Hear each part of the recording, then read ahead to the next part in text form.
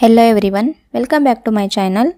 In this video, we are going to learn daily use English vocabulary words with examples. So, watch the video till the end. Rapidly rapidly ಅಂದರೆ ವೇಗವಾಗಿ rapidly ಅಂದರೆ ವೇಗವಾಗಿ ಅಂತ ಹೇಳ್ತೀವಿ the number of corona patients is decreasing rapidly corona ಸೋಂಕಿತರ ಸಂಖ್ಯೆ ವೇಗವಾಗಿ ಕಡಿಮೆಯಾಗುತ್ತಿತ್ತು. The number of corona patients is decreasing rapidly corona ಸೋಂಕಿತರ ಸಂಖ್ಯೆ ವೇಗವಾಗಿ ಕಡಿಮೆಯಾಗುತ್ತಿತ್ತು. ಎಕ್ಸ್ಪ್ರೆಸ್ ಎಕ್ಸ್ಪ್ರೆಸ್ ಅಂದರೆ ತಿಳಿಪಡಿಸು ಅಥವಾ ವ್ಯಕ್ತಪಡಿಸು. ಎಕ್ಸ್ಪ್ರೆಸ್ ಅಂದರೆ ತಿಳಿಪಡಿಸು ಅಥವಾ ವ್ಯಕ್ತಪಡಿಸು ಅಂತ ಹೇಳ್ತೀವಿ. ಎಕ್ಸಾಂಪಲನ್ನು ನೋಡಿ. I can't express how happy I was ನನಗೆ ಎಷ್ಟು ಸಂತೋಷವಾಯಿತು ಎಂದು ಹೇಳಲು ಸಾಧ್ಯವಿಲ್ಲ. ಅಂದರೆ, ನನಗೆ ತುಂಬ ಸಂತೋಷವಾಗಿದೆ. ಅದನ್ನು ನನಗೆ ಈಗ ವ್ಯಕ್ತಪಡಿಸಲು, ಅಂದರೆ ಬಾಯಿಯಿಂದ ಹೇಳಲು ಸಾಧ್ಯವಿಲ್ಲ. ಅಂದರೆ ಅಷ್ಟೊಂದು ಸಂತೋಷವಾಗಿದೆ. ಅದನ್ನು ವ್ಯಕ್ತಪಡಿಸಲು ಸಾಧ್ಯವಿಲ್ಲ ಅಂತ ಅರ್ಥ ಕೊಡುತ್ತೆ. I can't express how happy I was ನನಗೆ ಎಷ್ಟು ಸಂತೋಷವಾಯಿತು ಎಂದು ಹೇಳಲು ಸಾಧ್ಯವಿಲ್ಲ. ಹೆಸಿಟೇಟ್ ಹೆಸಿಟೇಟ್ ಅಂದರೆ ಹಿಂಜರಿ. ಹೆಸಿಟೇಟ್ ಅಂದರೆ ಹಿಂಜರಿ ಅಥವಾ ಹಿಂಜರಿಯುವುದು ಅಂತ ಹೇಳ್ತೀವಲ್ವ? Please don't hesitate to call me ದಯವಿಟ್ಟು ನನಗೆ ಕರೆ ಮಾಡಲು ಹಿಂಜರಿಯಬೇಡಿ. Please don't hesitate to call me ದಯವಿಟ್ಟು ನನಗೆ ಕರೆ ಮಾಡಲು ಹಿಂಜರಿಯಬೇಡಿ. ಸಸ್ಪೇಸಿಯಸ್ ಸಸ್ಪೇಸಿಯಸ್ ಅಂದರೆ ಅನುಮಾನಾಸ್ಪದ ಅಥವಾ ಸಂಶಯ ಅಥವಾ ಸಂದೇಹ ಅಂತ ಹೇಳ್ತೀವಲ್ವ? ಎಕ್ಸಾಂಪಲನ್ನು ನೋಡಿ. ಎವ್ರಿಥಿಂಗ್ ವಾಸ್ ಸೋ ಸಸ್ಪೇಸಿಯಸ್ ಎಲ್ಲವೂ ತುಂಬ ಅನುಮಾನಾಸ್ಪದವಾಗಿತ್ತು. ಎವ್ರಿಥಿಂಗ್ ವಾಸ್ ಸೋ ಸಸ್ಪೇಸಿಯಸ್ ಎಲ್ಲವೂ ತುಂಬ ಅನುಮಾನಾಸ್ಪದವಾಗಿತ್ತು. ಹಾರ್ಡ್ಶಿಪ್ ಹಾರ್ಡ್ಶಿಪ್ ಅಂದರೆ ಕಷ್ಟ ಅಥವಾ ಕಷ್ಟ ಪರಿಸ್ಥಿತಿ. We are ready to face any hardship ಯಾವುದೇ ಸಂಕಷ್ಟ ಎದುರಿಸಲು ನಾವು ಸಿದ್ಧರಿದ್ದೇವೆ. We are ready to face any hardship ಯಾವುದೇ ಸಂಕಷ್ಟ ಎದುರಿಸಲು ನಾವು ಸಿದ್ಧರಿದ್ದೇವೆ. ಡ್ರ್ಯಾಗ್ ಡ್ರ್ಯಾಗ್ ಅಂದರೆ ಎಳೆಯಿರಿ ಅಥವಾ ಎಳೆಯುವುದು ಅಂತ ಅರ್ಥ ಕೊಡು. Don't drag me into your argument. ನಿಮ್ಮ ವಾದಕ್ಕೆ ನನ್ನನ್ನು ಎಳೆಯಬೇಡಿ ಅಥವಾ ನಿಮ್ಮ ಜಗಳಕ್ಕೆ ನನ್ನನ್ನು ಎಳೆಯಬೇಡಿ ಅಂತ ಅರ್ಥ ಕೊಡುತ್ತೆ. Don't drag me into your argument. ನಿಮ್ಮ ವಾದಕ್ಕೆ ನನ್ನನ್ನು ಎಳೆಯಬೇಡಿ. ಲ್ಯಾಕ್ ಲ್ಯಾಕ್ ಅಂದರೆ ಕೊರತೆ ಅಥವಾ ಅಭಾವ ಅಂತ ಹೇಳ್ತೀವಿ. I am tired from lack of sleep ನಿದ್ರೆಯ ಕೊರತೆಯಿಂದ ನಾನು ಸುಸ್ತಾಗಿದ್ದೇನೆ. I am tired from lack of sleep ನಿದ್ರೆಯ ಕೊರತೆಯಿಂದ ನಾನು ಸುಸ್ತಾಗಿದ್ದೇನೆ. ಡೆಮೋಲಿಷ್ ಡೆಮೋಲಿಷ್ ಅಂದರೆ ಉರುಳಿಸು ಅಥವಾ ನೆಲ ಸಮ ಮಾಡು ಅಥವಾ ಕೆಡುವು ಅಂತ ಹೇಳ್ತೀವಿ. ಎಕ್ಸಾಂಪಲನ್ನು ನೋಡಿ. We are going to demolish this old building ನಾವು ಈ ಹಳೆಯ ಕಟ್ಟಡವನ್ನು ಕೆಡವಲಿದ್ದೇವೆ. We are going to demolish this old building ನಾವು ಈ ಹಳೆಯ ಕಟ್ಟಡವನ್ನು ಕೆಡವಲಿದ್ದೇವೆ. ಡೀಪ್ ಡೀಪ್ ಅಂದರೆ ಆಳವಾದ. ಡೀಪ್ ಅಂದರೆ ಆಳವಾದ ಅಂತ ಹೇಳ್ತೀವಿ. This pool is too deep for me ಈ ಕೊಳ ನನಗೆ ಆಳವಾಗಿದೆ. This pool is too deep for me ಈ ಕೊಳ ನನಗೆ ಆಳವಾಗಿದೆ. ರಿಚ್. ರಿಚ್ ಅಂದರೆ ಶ್ರೀಮಂತ. ರಿಚ್ ಅಂದರೆ ಶ್ರೀಮಂತ ಅಂತ ಹೇಳ್ತೀವಿ. His father is a rich man ಅವನ ತಂದೆ ಶ್ರೀಮಂತ ವ್ಯಕ್ತಿ. His father is a rich man ಅವನ ತಂದೆ ಶ್ರೀಮಂತ ವ್ಯಕ್ತಿ. ಹಿಕ್ಕಪ್ ಹಿಕ್ಕಪ್ ಅಂದರೆ ಬಿಕ್ಕಳಿಕೆ. ಹಿಕ್ಕಪ್ ಅಂದರೆ ಬಿಕ್ಕಳಿಕೆ.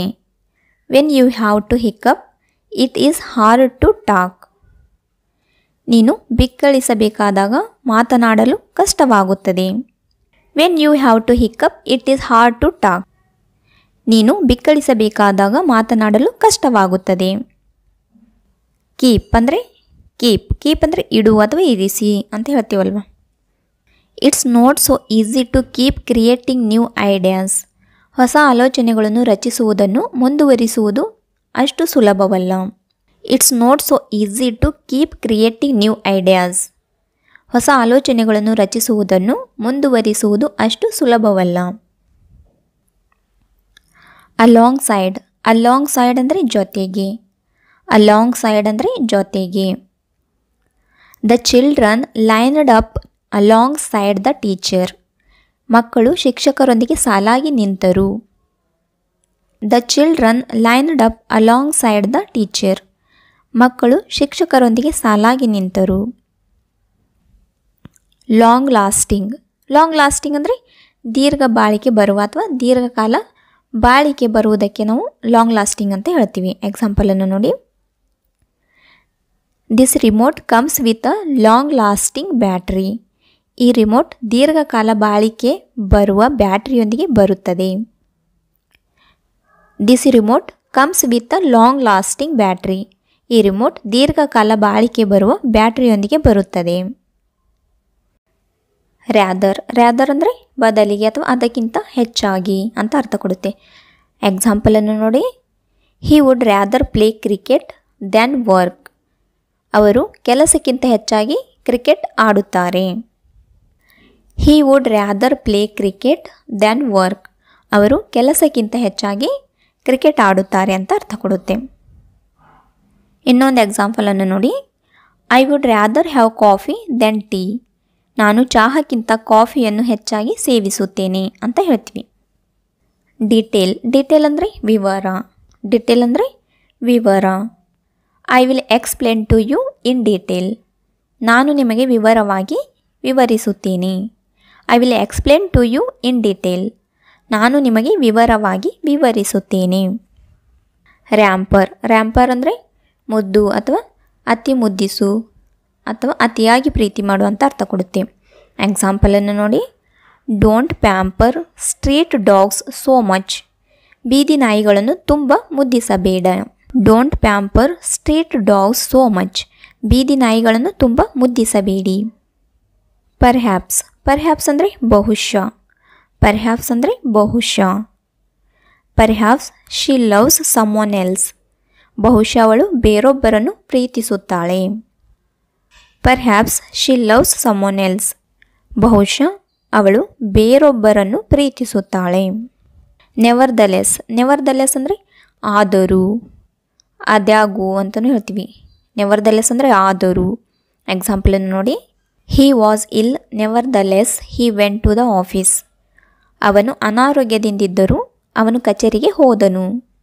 ಬ್ಲೇಮ್ ಬ್ಲೇಮ್ ಅಂದರೆ ದೋಷಿಸು ಅಥವಾ ನಿಂದಿಸು. ಆರೋಪ ಮಾಡು ಅಂತಲೂ ಹೇಳ್ತೀವಿ. ಎಕ್ಸಾಂಪಲನ್ನು ನೋಡಿ. Don't blame me all the time ಎಲ್ಲ ಸಮಯದಲ್ಲೂ ನನ್ನನ್ನು ದೋಷಿಸಬೇಡಿ. Don't blame me all the time ಎಲ್ಲ ಸಮಯದಲ್ಲೂ ನನ್ನನ್ನು ದೋಷಿಸಬೇಡಿ. ಅಲಾವ್ ಅಲಾವ್ ಅಂದರೆ ಅನುಮತಿ. ಅಲಾವ್ ಅಂದರೆ ಅನುಮತಿ ಕೊಡು ಅಥವಾ ಅನುಮತಿ ನೀಡು ಅಥವಾ ಅಪ್ಪಣೆ ಕೊಡು ಅಂತ ಹೇಳ್ತೀವಲ್ವ? Please allow us to execute this plan ದಯವಿಟ್ಟು ಈ ಯೋಜನೆಯನ್ನು ಕಾರ್ಯಗತಗೊಳಿಸಲು ನಮಗೆ ಅನುಮತಿ ನೀಡಿ. ಅಥವಾ ಅನುಮತಿಸಿ ಅಂತ ಹೇಳ್ತೀವಿ.